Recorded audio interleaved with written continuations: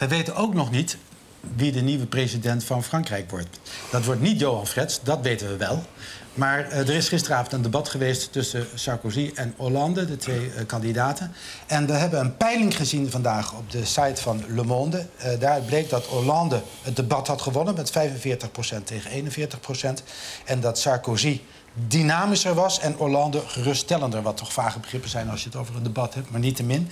En, belangrijker denk ik, 53% stemt Hollande en 47% Sarkozy. Even over het debat. Vond jij dat ook de verhouding? Nou, ik vind wel dat, uh, dat uh, Hollande er beter uitkwam. Maar laten we zeggen, uh, het grappige is bij zo'n debat... dat eigenlijk de commentaren daarna bijna belangrijker zijn... dan het debat zelf, bij wijze van spreken. Hè? Want iedereen wil weten wie heeft gewonnen. Uh, want dat schijnt dan bepalend te zijn. Dus uh, iedereen die heeft daar natuurlijk een mening over. Um, nou, jij ook dus. Daar, nou ja, daar. als, als eruit blijkt wat veel commentatoren hebben gezegd... nou, het is een 0-0 met een kleine voorsprong voor, uh, voor Hollande... voor zover dat dan kan bij een 0-0 stand... dan betekent dat Sarkozy het verloren heeft. Want Sarkozy moest gisteravond zijn grote slag slaan. Want die heeft een achterstand. En een behoorlijke achterstand. Dus Sarkozy moest er gisteren uitkomen als de man... Nou ja, die gewoon veel beter en veel sterker was dan uh, Hollande. En dat is dus niet gebeurd. Dus met andere woorden, Hollande is misschien niet de winnaar... maar Sarkozy is zeker de verliezer. We gaan vast naar een fragment. Enfin, permettez-moi de vous dire que dans votre volonté de démontrer l'indémontrable, vous mentez. Ça vous reprend. Ça y est, c'est décidément Je vais vous le dire. un leitmotiv qui euh, devrait pour moi être insupportable, mais qui, dans votre bouche, finit par être une habitude. Parfait. Vous Je- avez vraiment vous ce me permettez mot de à la bouche. de le démontrer et à force, Vous me permettez à de le force l'e- de l'exprimer, ça veut dire que Vous vous, avez une propension qui est-ce me que vous paraît me permettez de- assez grande Est-ce que à vous me permettez de commettre ce que vous reprochez à d'autres. Allez-y, Nicolas Sarkozy, vous démontrer terminez. Ja, Ja, nou, dit is vrij eh, eh, representatief voor pa- dat debat. Ik denk dat Sarkozy Hollande een beetje on- heeft onderschat. En Hollande moest tegelijkertijd aan den volken laten zien... dat hij wel iets meer is dan die vriendelijke, wat, wat zachte man. Dat hij eh, een krachtige president zou kunnen zijn. Dus eh, Sarkozy heeft geen moment de kans gekregen om hem in de hoek te dringen. Om, eh, want dat probeerde hij. Hij probeerde te doen wat Giscard d'Estaing destijds met Mitterrand probeerde. De meester, de grote econoom die het allemaal veel beter wist... dan die socialist, die domme socialist Mitterrand. Dat probeerde Sa- Sarkozy gisteren ook.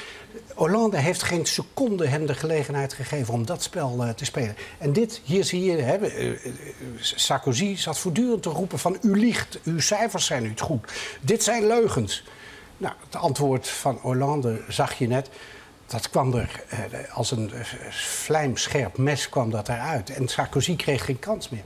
Hollande eh, benadrukte nogal een aantal keren, ik geloof 15 keer in totaal, dat hij de president van Frankrijk moet worden. Ja, nee, op een gegeven moment in het debat...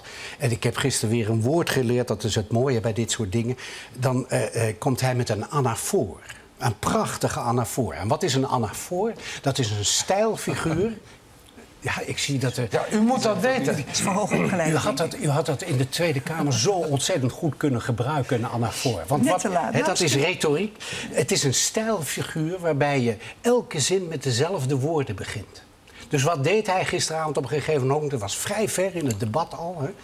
En op, eh, hij, hij, voelde, hij heeft zelf gezegd vanochtend, hoorde ik hem op de radio... ja, ik voelde dat het moment daar was om dit te doen.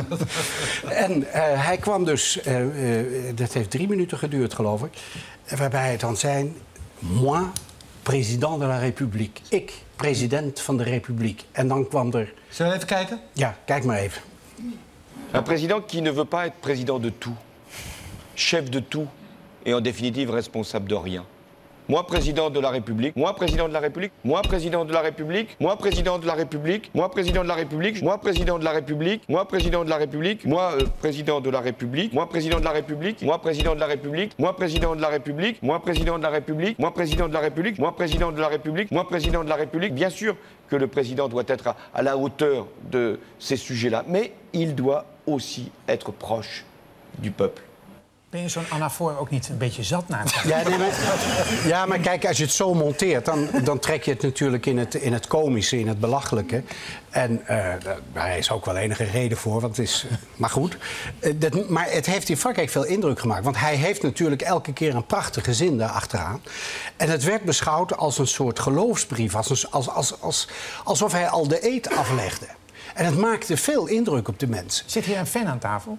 Nee, er zit hier. Nou ja, een fan, een fan van het politieke spel. En ik, eh, ik vond eh, dat, eh, dat Hollande dat ontzettend goed Maar had doet. Sarkozy niet kunnen zeggen... u bent dat nog helemaal niet? Precies. En dat is wat mensen. Ik kom nog even terug op de commentaren. Wat de commentatoren het meest verwonderen. is dat Sarkozy dat allemaal laat gebeuren. Dus dat is onderschatting van de tegenstander. Sarkozy die had natuurlijk moeten zeggen: Zeg, beste Hollande, je bent nog helemaal geen president van de Republiek. Of ja, we hebben het nu wel genoeg gehoord na vijf keer. Of woorden van gelijk. Nee, die heeft daar, als een lam dat ter slachting werd geleid, heeft hij dat eh, daar eh, aangezien. Johan, dat soort fouten moet jij niet maken natuurlijk. Nee, nee, Dan zeker wordt het niet. niks met het Ah, premierschap. ik, ik zou denk ik niet heel goed zijn in debatten, omdat ik, omdat ik niet heel bondig ben. Dus ik, Oh jee. Dat, is- Nou, dat, zijn ze, dat zijn ze in Frankrijk ook niet hoor. Want dit debat heeft 2 uur en 50 minuten geduurd. Zou je dat, zou dat net kunnen, denk je? Ja, nou ja, ik, ik put dan wel hoop uit. Het schijnt dat Obama er ook heel slecht in was aan het begin. Dat Hillary echt al die debatten toen eh, won. En dat hij uiteindelijk dat hij het toch geleerd heeft. Maar dus- Hoe kijkt u daar eigenlijk naar, mevrouw Verbeet? Naar dit soort debatten en de hele Franse politiek? Nou, ik vind het heel interessant en ik volg het ook, eh, want het is heel belangrijk ook voor Europa. Hè. We kijken natuurlijk allemaal wat gaat daar gebeuren, want dat betekent eh, voor allerlei andere zaken eh, ook grote veranderingen, denk ik. Maar voor Europa zou het nog wel eens een ramp kunnen zijn als Hollande de president wordt. Dat weet ik niet of dat zo is. Nou, in de Partij van de Arbeid heeft men daar nogal dubbele houding. Ja, kijk, er wordt natuurlijk, er wordt natuurlijk in, de hele, in de hele wereld naar Europa gekeken van waarom handelen ze zoals ze handelen. Er zijn heel veel verschillende opvattingen, ook over de economie. Dus dat is, eh, en ik, uiteindelijk eh, zal, eh, zal hij dat ook niet in eentje gaan bepalen. Maar ik weet wel dat er erg opgelet wordt. Mevrouw Merkel kijkt ook goed naar wat er gebeurt. En in de, in de politiek, ik had recent een vergadering... is, wat ik zo grappig vind is dat er in de Partij van de Arbeid eigenlijk meer sympathie voor Sarkozy is dan voor Hollande. Is dat zo? Nou ja, ik hoor, als ik zo Frans Timmermans hoor, en, hm, dan denk ik, eh gut, interessant. Maar Nou, begrijp dat je valt mij niet zo beetje, eigenlijk? Nou, ik begrijp het niet zo goed, want ehm, eh, eh, stel je voor dat Sarkozy eh, herkozen wordt, moet je zien op, op basis van wat hij dan herkozen wordt. De campagne die hij de laatste twee weken heeft gevoerd met uitsluitend extreemrechtse thema's.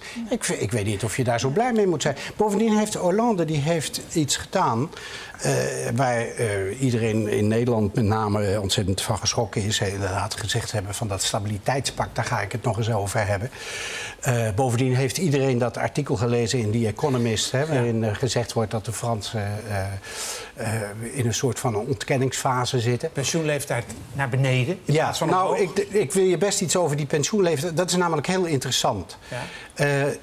Kijk, in Nederland, even techniek. In Nederland hè, krijg je vanaf je 15e jaar je AOW, hè, 2% Bouw je per jaar, op, bouw ja. je op en zo.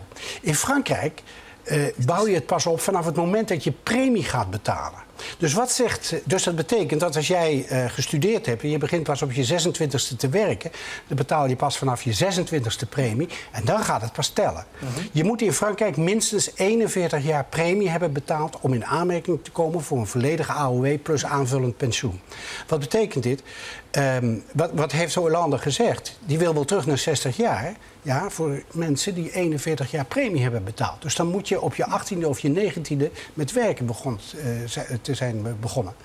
En eh, dus da- daar, daar is nogal. Er zit nog wat nuance Daar moet je nogal wat eh, nuanceren. Maar voor mensen die later zijn begonnen, ja, die moeten door tot hun 65. Ik ken heel veel mensen in Frankrijk die gewoon tot hun 65 en zelfs later eh, werken. Want anders dan krijg je je volledige pensioen niet. Dus je moet dat een beetje nuanceren. De Fransen zijn niet zo lui als eh Krijgt sommigen wel Sarkozy zelf ook pensioen? Ik bedoel, wat gaat hij doen als hij het niet wint zondag? En dat Hij heeft gezegd dat hij dan uit de politiek gaat. En, ja, wat gaat hij wel doen?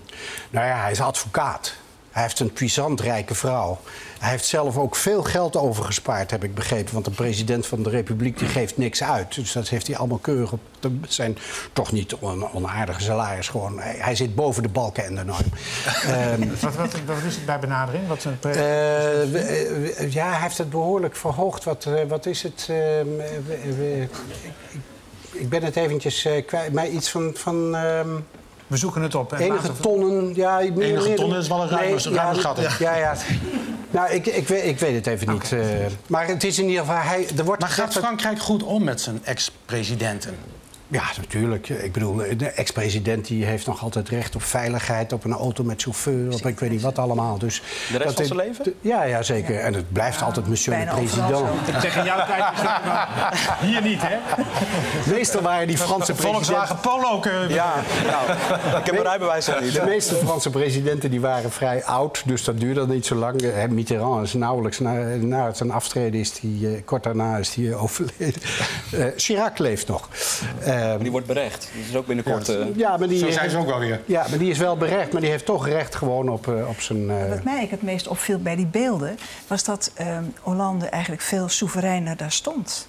Ik Ja, vond ja. de, de, de non-verbale eh, eh, eh, interactie eigenlijk nog veel interessanter dan eh, het, tijdens dat debat net. Die, die, die, die, die Sarkozy was echt een beetje nijdig en Ja, boos een beetje en een beetje defensief. ja, die beweegt En- ook altijd zo zijn schouders. Hè? Ja. Als, hij, als hij een beetje kwaad wordt, zit hij voortdurend zo. Ja. Ja, maar dat- de- u heeft volstrekt gelijk, want ook dat eh, was de commentatoren opgevallen... dat eh, eigenlijk was eh, Hollande de president. Ja. En, eh, maar dat is ook waarschijnlijk de, de, de fout die Sarkozy heeft gemaakt. Sarkozy heeft zich voortdurend gedragen als een uitdager. In plaats van als de president. Die, president. Ja, precies. Ja, ja, hij is ook iets meer straatvechter, ja, toch? straatvechter, ja. Hij is, hij, is, hij is meer straat. En Ja. eh, Hollande die heeft er natuurlijk, had er belang bij, juist gezien het karakter en het personage van Sarkozy, om Ja. presidentieel over te komen. Laten we het We hebben weten al wat hij verdient, overigens. Dat heeft onze redactie nog even Zo. opgezocht. Ja? 231.000 euro. Dat, dat is, dat, ja, daar kan je wel iets boven de. Ja, als je helemaal niks uitgeeft, Ja, als je geen schilderij koopt, bijvoorbeeld, op een veiling. dat doet Ja, zijn vrouw Laten we het daarover hebben. Over het schilderij De Schreeuw van Munch.